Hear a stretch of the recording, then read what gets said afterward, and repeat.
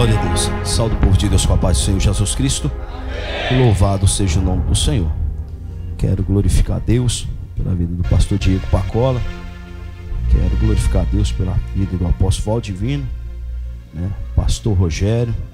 Que Deus venha abençoar cada um de maneira gloriosa e especial. Todos os obreiros que estão na nossa retaguarda, né?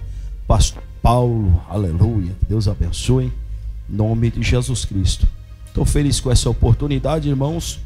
E convido você para abrir a sua Bíblia. Eu quero ler somente um versículo no livro de 1 Samuel, no seu capítulo de número 19. Glória a Deus. 1 Samuel, no seu capítulo de número 19. Glória a Deus. Obrigado. Eu glorifico a Deus mais uma vez pela vida do pastor Diego Pacola, pelas oportunidades concedidas Muita gente fala mal, mas eu queria que pelo menos a metade dos pastores de Hortolândia tivesse a visão que você tem. Eu gostaria, eu gostaria, eu gostaria. Eu vou entrar aqui, eu vou entrar aqui no mistério. Vou entrar aqui, vou entrar aqui. Amém? Quem achou diz amém. É, irmão, porque o que eu falo aqui não é revelação dentro da palavra e você vai entender. Amém? Aleluia. Diz assim a palavra do Senhor. E falou Saul a Jonatas, seu filho, e a todos os seus servos para que matasse Davi. Porém, Jonatas, filho de Saul, estava muito afeiçoado a Davi. Pode se assentar. Glória a Deus. Deus fiel. Observamos, irmãos, que a história de Davi todo mundo conhece, Davi escolhido, separado, ungido rei, escolhido por Deus. E tem também a história de Saul e aqui eu quero falar, nesses poucos minutos que foi me dada essa oportunidade, das duas igrejas, a igreja chamada Davi e a igreja chamada Saul. A igreja chamada Davi é uma igreja escolhida, é uma igreja separada, é uma igreja adornada, é uma igreja obediente, é uma igreja que tem visão e comunhão com Deus. É uma igreja, aleluia, que não toma decisão nenhuma se outrora Deus não bradar primeiro. Glorificado é o nome do Senhor. E observamos aqui, eu vou pegar até um gancho com o nosso amigo pecador ali, aleluia, que a igreja Saul é uma igreja que está ligado com as coisas da terra. E quando a igreja Saul está ligada com as coisas da terra, ela só olha para baixo. E quando ela olha para baixo, ela só acha contenda, confusão, com. A igreja Saul, ela é diferenciada. Por quê? A igreja Saul, ela foi levantada pelo homem, mas a igreja Davi, ela é constituída por Deus. Aleluia. A igreja Saul está procurando fama, status nome e conta bancária gorda, mas a igreja Davi ainda está procurando ovelha, ainda está procurando ovelha. A igreja Davi é diferenciada, ela é perseguida, mas permanece porque tem promessa. A igreja Davi, ela é desacreditada pelo homem, mas é abraçada pela glória de Deus, pela glória de Deus.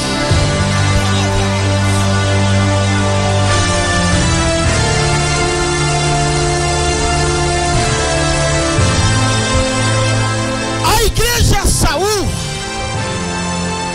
no começo ela vai ter bem. Por quê? Porque ela quer ganhar status e fama. Mas no decorrer da caminhada, a igreja Saul deixa a arrogância entrar no coração. Deixa eu entrar, aleluia, no coração. A igreja Saul agora já não é humilde. A igreja Saul agora sobe no salto alto, empina o peito e diz: agora é eu que faço, agora é eu que mando, agora é eu coopero. Aleluia. Ai, ai Jesus. Lá vai marreta. A igreja Saul ela sai defamando e caluniando. Mas a igreja Davi ela abraça. Por quê, pastor? A igreja Saul quando ela aparece, ela aparece da noite para o dia grande, mas não permanece grande. Na sua caminhada ela começa a se perder. Por quê? Ah, ei, Jesus. Eu respeito todos os meus amigos pregadores, mas eu vou falar. Eu vou falar. A igreja Saul está olhando para as coisas terrenas. A igreja Saul está procurando o trono.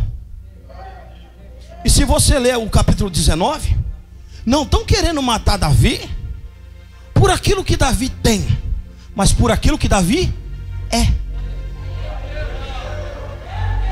Porque se a gente for ler, pastor Luiz, Saul já foi rejeitado. Mas Samuel olha para ele e diz assim: Ó oh, Senhor, dá uma chancinha para ele, tem misericórdia dele. Aí Deus diz assim: Samuel, até quando tu vai ter dó de Saul? Meu Oh, glória! Meu povo está padecendo por causa de Saul, mas eu já rejeitei Saul faz tempo. Aleluia! E Saul foi rejeitado por quê? Por falta de eita, de obediência a Deus. Porque quando o profeta, aleluia, quando o profeta ia falar com ele, ele já fazia aquele bicão, já falava: "Ei, lá vai marreta". O pastor Diego está fora da visão. O pastor Diego está fora do contexto. O pastor Diego está fora da da palavra, é, aleluia. Eita glória, a igreja Saul ela traz confusão, não, não, é, aleluia. Mas a igreja Davi ela gera ovelha, e ovelha tem que ser cuidada, tem que ser zelada, tem que ser adornada, tem que ser protegida. É, Golias hoje vai passar mão, porque quem está no controle aqui ainda é Deus, ainda é Deus.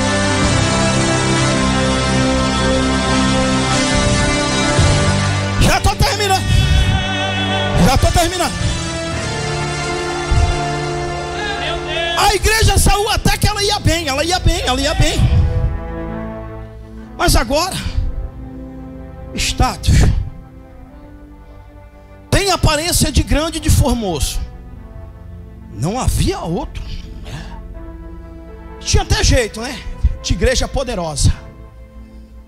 Tinha até jeito de andar, jeito de falar no seu proceder, na sua caminhada. Mas só que o povo estava olhando, oh glória, pela formosura da igreja, não o que estava dentro da igreja. Não o que estava dentro. E até que ele foi o que? Rejeitado, porque arrogância. E se a gente for ler, aleluia, é o príncipe das trevas, quando ele andava, né? Só nele andar já produzia o que? Som e agradava os ouvidos de Deus.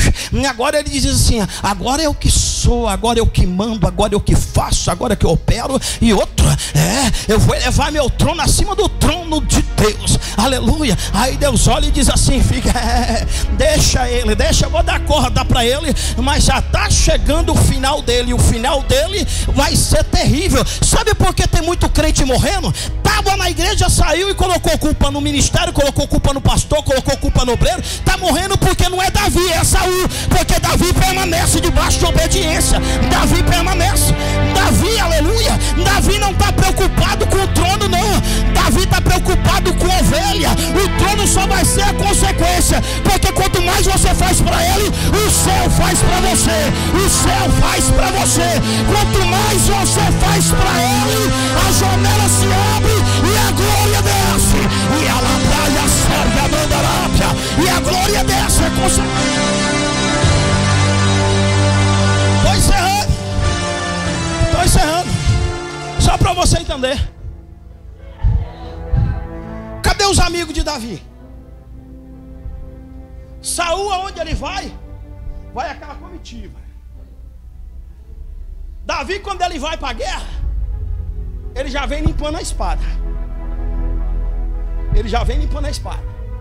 E Davi, Saul não. Saul chama os seus, seu servo e diz: carrega meu escudo aí, carrega minha espada. Agora vai, vai uma palavra de Deus para tua vida. Mesmo se for um canivete cego, carregue aquilo que Deus colocou na tua mão, que não vai deixar você nem envergonhado nem confundido. É, Senhor, mas eu não sei. O importante não é você saber, o importante é Deus estar na frente. É Deus estar na frente. Davi, quando ele vem da peleja, já vem limpando a espada, já vem afiando, é, já vem testando os escudos. É, porque Davi não está preocupado com o trono. Você não vai ver Davi brigando para no trono. Mas toda essa peleja de Davi tem a sua consequência.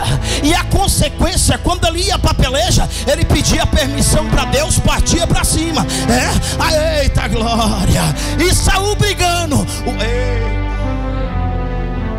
Saul está brigando, o trono é meu, o trono é meu. Aí Deus, ó, já te rejeitei faz tempo. Já te rejeitei faz tempo. Acabou, acabou, acabou sua oportunidade, Saul. Aleluia. Aí que eu vejo nas redes sociais, que nem eu já falei. Que nem eu já falei. Muita gente fala assim, o pastor, você está lá com o Diego Pacolha. É, pastor Paulo, já falei isso para ele. Aí até a agenda nossa é cortada quando vê o Na Deus é paz. Ainda mais com quem? Diego Pacola. Diego Pacola. Aleluia. E quando as agendas é cortadas, pastor Rogério, sabe o que eu faço? Amém. Aí o homem vai lá e fecha uma porta. Aí Deus lá no céu abre uma janela. Não, peraí, peraí para você dar glória, peraí para você dar glória. O homem ele abre a porta, passa por ela, fecha do lado de dentro, sai pro lado de fora, fecha, faz o que ele quer. Mas quem abre a janela, meu irmão, é só quem já permaneceu do lado de dentro. É só quem está do lado de dentro que tem a chave para abrir a janela, meu filho. É, glória, não adianta, não adianta. É. E muita gente está procurando porta. Eu estou esperando é a janela, é a janela do céu. Abrir é o meu e é o teu favor. Aqui eu encerro. Davi, ele tem oportunidade. E você vê, ele quer o quê? Capítulo 19 vai falar que ele chama o seu servo, chama o seu filho. Mas o seu filho, mesmo sendo filho, é fiel a uma amizade. Aí eu fico observando uma coisa. Muita gente traindo por causa de status, fama, oportunidade. E a oportunidade, meu irmão, não é eu chegar e me apresentar, não. É esperar Deus me colocar lá. Porque quando Deus coloca, ninguém tira. Quando Deus levanta, ninguém abate. Quando Deus escolhe, quando Deus escolhe, o negócio é diferenciado, meu irmão. Quando Deus escolhe, nem precisa mostrar que você tem. Quem apresenta é Ele, quem age é Ele, quem opera é Ele, quem dá a última palavra é Ele, é Ele, é Ele. Quando é escolhido é diferenciado.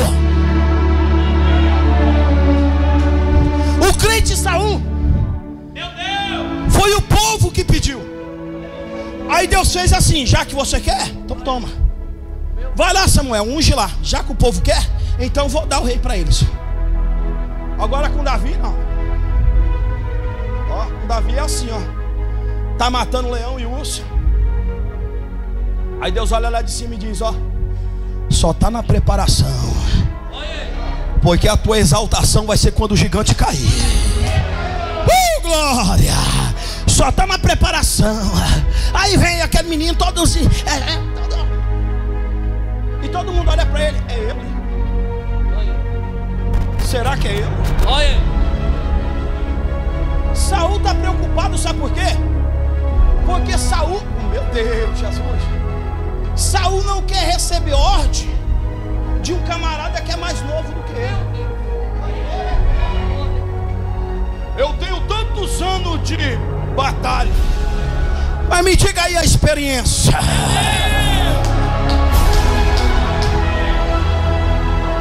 Eu tenho tantos anos de ministério, mas qual a sua, sua experiência? Qual a sua experiência? É? Eu fico observando, eu estou terminando. Eu fui pregar num, num, determinado lugar. Cheguei lá, sentei no meio do povão, que eu gosto do povão. Eu venho para cá se eu sou convidado, é assim, todo mundo sabe. E ali, cheguei lá, sentei no meio do povão. O, o camarada de uma igrejona aí. Era culto, sabe aonde? Ar livre. O pregador já chegou. A irmãzinha mó simples que me convidou. Ah, tá aqui, ó. Ah, é você que vai pregar? É, você prega em grandes igrejas, grandes púlpitos. Eu quero ver você pregar aqui. Aí eu só abaixei a cabeça e falei: Jesus. Ele não viu arrancando toco, matando urso, matando leão, sol quente, tempestade, monte, vigília. Ele não viu, ele não viu, Jesus. Peguei o microfone, salto da igreja. O microfone sem fio. Prédio de um lado, mato do outro, chovendo ainda, para completar a história. Comecei a ministrar uma mensagem simples. Preguei sobre a filha de Jairo. E o pastor olhava para mim de baixo em cima.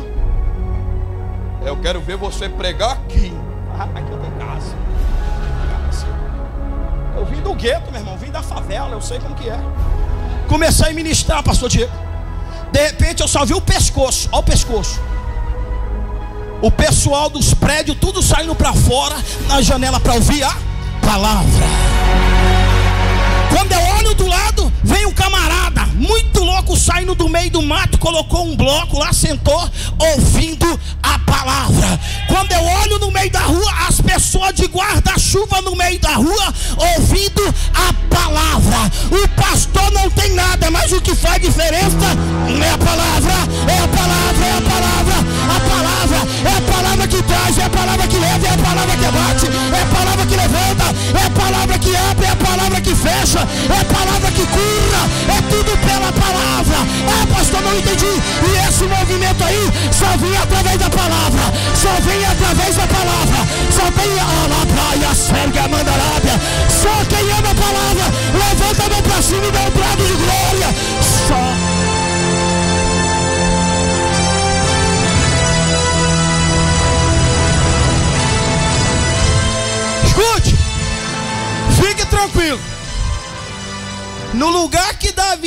foi rejeitado e desacreditado,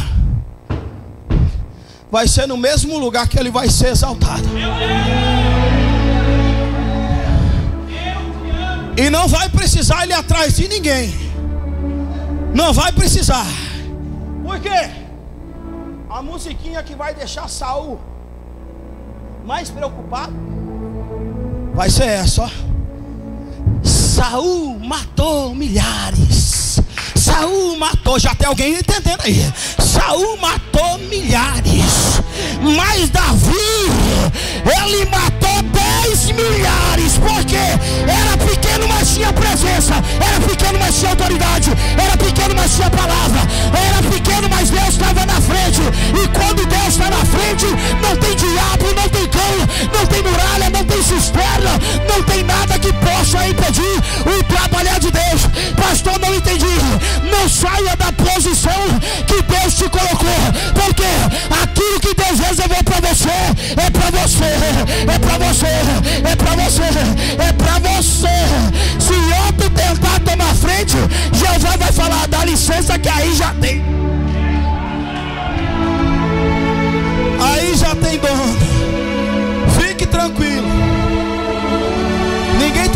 Continue no pasto. É. Continue lavando o chão, continue lavando o banheiro, continue. Continue varrendo a igreja. Ah, o homem não está me vendo, Deus está te vendo.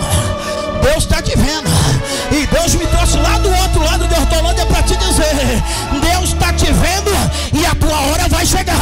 A tua hora vai chegar. A tua hora vai chegar. Você acredita?